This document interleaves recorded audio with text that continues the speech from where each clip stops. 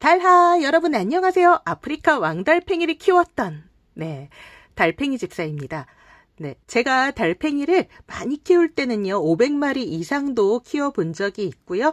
한 5년 정도 달팽이 키운 경력이 있습니다. 그런데 지금은 음, 작년도에 이제 달팽이들을 이제 한 마리씩 한 마리씩 떠나 보내서 어, 아, 뭐 실제로 분양을 보낸 것도 있고요. 분양 보내고 입양 보내고 뭐 이런고 나서 어, 한 12마리 정도 키우다가, 아, 그것도 이제 몇 마리, 예, 친구에게 보내고, 제가 한 대여섯 마리 이렇게 오붓하게 키우고 있는데, 음, 달팽이들이 입맛을 잃더니 한 마리씩 이제 떠나가는 거예요. 그렇게 해서 달팽이를, 예, 모두 보내게 되었는데, 어, 달팽이를 보낸 후에도 제가 달팽이 집사 채널을 접지 않은 거는 아직 여러분들께 드릴 말씀이 남아있기 때문입니다. 오늘은 그 중에서 어, 첫 번째 달팽이들은 아프리카 왕달팽이 기준입니다. 다른 달팽이는 해당이 안 될 수도 있어요. 아프리카 왕달팽이들은 웬만해서는 익사하지 않아요. 라는 주제로 말씀을 드리고자 합니다. 어, 제가 달팽이를 이제 떠나보내고 나니까 이제 제 주변의 친구분들하고 지인분들은 어, 달팽이가 수명이 다 돼서 떠났나 보다 했는데 제 생각은 조금 다릅니다. 제가 좀 더 잘 키우고 잘 돌봤더라면 달팽이들이 좀 더 살 수 있지 않았을까. 어, 내 잘못이 크지 않나라고 생각을 하고 있어요. 이제 그런데 예, 그 중에서요. 어, 그 어떤 달팽이도 물에 빠져서 죽은 달팽이는 단 한 마리도 없었습니다. 지난 5년 동안 네, 진짜 500마리, 600마리를 이제 여러 가지 방법으로 씻겨 보았는데 어, 달팽이가 익사하는 일은 단 한 건도 없었어요. 막 이렇게 조그만 꼬물이부터 이제 아주 큰 달팽이까지 그 어떤 달팽이도 물에 빠져 죽은 달팽이는 단 한 마리도 없습니다. 물론 제가 처음부터 무모하게 그렇게 실험을 했던 건 아니고요. 달팽이 웬만큼 뭐 물에 담가도 익사하지 않아요? 라는 말을 이제 듣고, 어, 그분이 꽤 믿음직한 분이거든요. 저에게 첫 번째 달팽이를 이제 나눠주신 분이니까.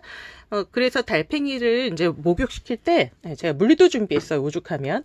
그리고 달팽이가 없는 관계로 달팽이 인형도 준비했습니다. 많은 분들이 달팽이들 목욕시킬 때 요 배발, 네, 배발 다 아시죠? 여기 배인 동시에 발, 달팽이 여기 배발 높이까지만 물에 담그고, 그러니까 한 1, 2cm도 안 되겠죠? 1cm 미만으로 담그고, 여기 달팽이 이제 폐각 요 부분에 숨구멍 아시죠? 요 부분에 있는 숨구멍에 물이 들어가면 달팽이는 익사한다. 그렇게 알고 있는 분들이 거의 대부분이에요. 왜냐하면 달팽이 커뮤니티에서 소문, 소문이 그렇게 났어요.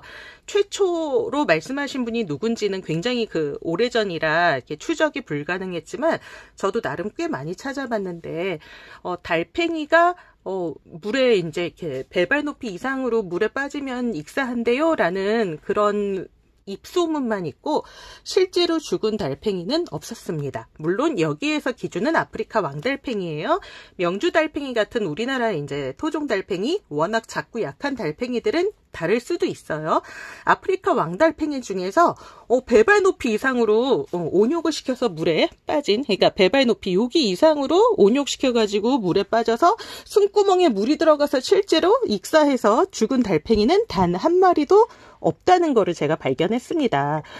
그리고 그거보다도 조금 더 확실한 예, 근거를 찾아보려고 뭐 나름 이제 조사를 해봤는데 우리말로 된 자료는 일단 하나도 없고요. 우리나라의 아프리카 왕달팽이에 대한 제대로 된 자료는 없으니까요.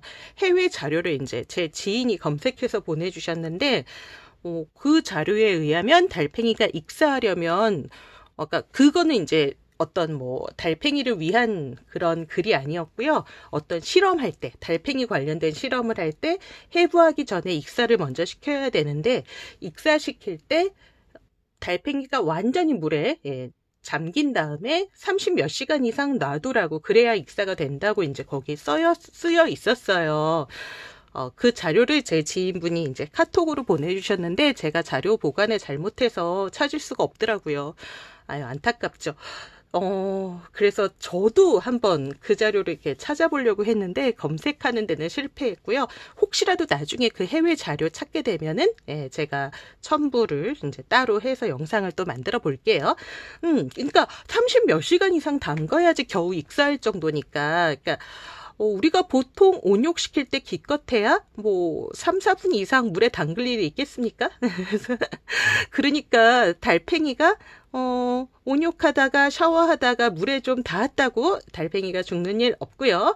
어, 숨구멍에 물이 들어가서 죽는 거는 어, 그건 참 어떤 경우인지 모르겠는데요. 달팽이가 여기 이제 여기 숨구멍으로 숨도 쉬고 응가드 싸고 알도 낳고 하는 요 구멍이요.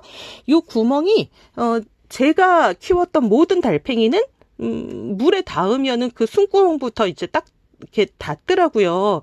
그 어떤 건강한 달팽이도 물이 이렇게 이렇게 몸에 닿았는데 숨구멍 해 벌리고 있는 달팽이는 없고 이렇게 물에 닿으면 벌렸더라도 딱 닫, 닫아버리고 그래서 어, 배발 이상 높이로 담가도 어, 숨구멍으로 물에 들어가는 일은 없었다고 합니다.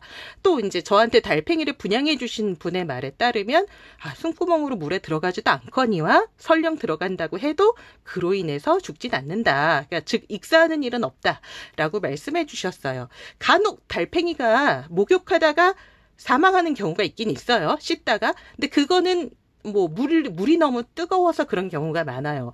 사람 손에는 그렇게까지 뜨거운 온도가 아닌데 달팽이한테는 충분히 화상을 입을 정도로 뜨겁게 느껴질 수 있기 때문에 어, 물의 온도가 너무 높아서 달팽이가 죽은 일은 있어도 어, 그런 거는 이제 사례를 들어봤어요.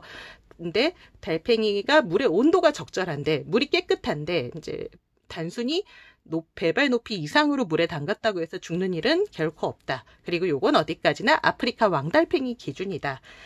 우리나라 달팽이, 토종 달팽이 같이 이제 자꾸 연약한 경우는 잘 모르겠다. 제가 안 키워봤으니까 모르는 건 모른다고 솔직히 말씀드리고요. 그리고 이제 물은 이제 목욕할 때 기준에 수돗물 같은 물이 기준이고요. 예를 들면 이제 뭔가 이렇게 뭐를 이렇게 예를 들 어, 뭐라고 해야 될까요? 사료 같은 걸 타서 이제 걸쭉하게 죽처럼 만들어진 그런 이제 끈적끈적한 그런 경우는 액체는 또 경우가 다를 수 있습니다. 그래서 어디까지나 온욕시킬 때 그 기준으로 말씀드리는 거고요. 제가 채널 초기에 달팽이들 이제 목욕시키고 샤워시키고 이런 영상들도 이제 종종 올렸는데 어, 그때 많은 안티팬들이 생긴 거 저도 알고 있습니다. 음, 그리고 달팽이 키우는 이제 달팽이 카페예요. 커뮤니티 카페. 네, 그런데 어, 유튜버 달팽이 집사 함부로 막 달팽이를 물에 담그고 잘못된 방법으로 온욕시키고 있다 그러면서 어, 많은 비난을 받은 것도 알고 있습니다. 자, 그래서 한번 아, 영상으로 네, 제가 정확한 증거까지 되면서 말씀드려야지 설명드려야지 하다가 어, 결국에는 네, 설명을 못 드리게 된 것 같아서 어, 어, 이렇게 좀 네, 확실하게 짚는 영상 어, 끝나기 전에 한 번은 말씀드려야 될 것 같아서 이렇게 영상 찍게 되었습니다. 아무튼 여러분 어, 저는 오히려 아프리카 왕달팽이 키우면서 달팽이 물에 빠져 죽을까봐 너무 걱정하면서 목욕시키는 씻기시는 집사님들이 너무 걱정돼서 이렇게 해도 괜찮아요 문제 없어요 하면서 조금 어, 달팽이들을 이렇게 푹 담가서 온욕시키는 그런 영상 만들었다가 음, 어, 별로 안 좋은 결과가 나오긴 했는데요. 어, 아무튼 걱정하지 마시고 그냥 네, 즐겁게 물 온도만 조심해서 달팽이 씻기시면 됩니다. 아참 물살이 세다고 해서 아프리카 왕달팽이 그거 그 정도에 제 괴로워하지 않습니다. 그것도 걱정하지 마세요. 물살도 웬만큼 세서 사람이 맞아서 괜찮을 정도의 물살이면 달팽이들도 충분히 이겨나갈 수 있습니다. 그럼 여러분 아프리카 왕달팽이 귀엽게 키우시고요.